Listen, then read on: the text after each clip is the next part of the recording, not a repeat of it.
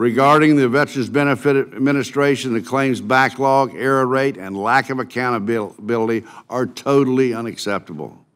Yet the VFW continues to hope that technology and leadership will improve what is currently broke. For years, the VA claimed a backlog that only numbered six, seven, eight hundred thousand claims. Yet the VA's own Monday morning report shows two million claims of all kinds in the system, from original compensation and pension claims to education and those on appeal. We urge Congress to continue exercising the oversight by VBA's workload, the total workload, just not what VA admits is 125 days or older. We acknowledge that one of the most difficult things to do in any large organization is to ensure its employees, both rank and file and supervisors, are held accountable for their performance. VBA continues to refine its training standards and does periodically test job knowledge. But it is still easier to be disciplined for conduct and performance issues. This is because production is easier to track than quality which is why the overall quality rating of the VA regional office continues to hover around 86% and is far worse in other ROs.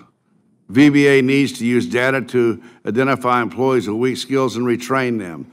Those who cannot or will not improve need to be replaced.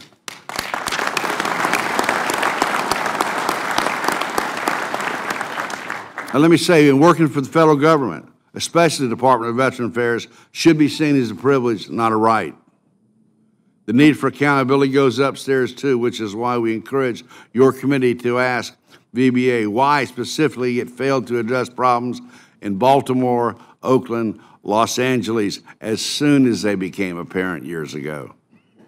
And we ask that you find other uh, out whether VBA leadership has any plans to identify those veterans who received wrong decisions and make them right. The VFW sees the Veterans Benefit Management System as the best opportunity to finally address the claims backlog, the rating quality problem, but we have reservations about the aggressive implementation schedule.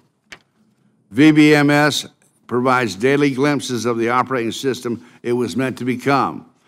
But with any major computer system, problems continue to pop up with newly uh, added regional, newly added regional offices. 20 ROs currently have the system, and VBA plans to install the rest by the end of June. We, believe that this rapid but perhaps premature deployment of VBMS will actually slow production as more glitches are identified and IT technicians scramble to fix them. I have the great privilege as National Commander to visit VFW posts and veterans around the world. The claims backlog and the accuracy ratings decision are the number one complaint. So let me be perfectly clear about this. It is absolutely, absolutely imperative the VA get this system right.